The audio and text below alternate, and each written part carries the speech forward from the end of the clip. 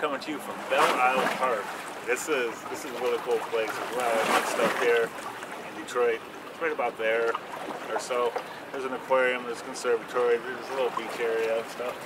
That is the skyline of Detroit, the Ambassador Bridge, and that is Canada.